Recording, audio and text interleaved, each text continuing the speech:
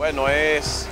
un edificio viejo, lógicamente, que está desde su inauguración de los años 70, aunque se le ha dado todas las condiciones debidas y a vida, parece ser, parece ser un cortocircuito que anoche eh, lamentablemente afectó mucho esa área tan importante de las labores en el Politécnico Vicente Aquilino Santo. Eh, los bomberos tuvieron una rápida intervención que evitó daños mayores, aunque se quemaron algunos enseres, algunas maderas, eh, maquinarias en que se utilizan allá. Ese es un área donde hay un equipo de estudiantes que practican desde segundo a tercero. Eh, lamentablemente son situaciones que se dan en la vida, eh, cablerías que nosotros presumimos que estaban en malas condiciones, la inestabilidad de la electricidad que en los últimos días está afectando mucho en San Francisco de Macorís, en esa zona específicamente,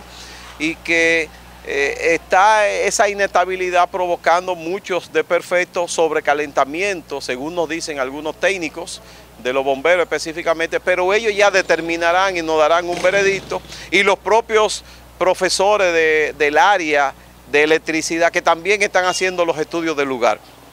A la población que no se preocupe, todas las demás áreas están trabajando armoniosamente, tranquilamente, y en Ebanitería ya se van a tomar más correctivos del lugar y en todas las otras áreas, específicamente en mecánica, en electricidad, en refrigeración, que son las áreas que datan de los años 70 y que no han,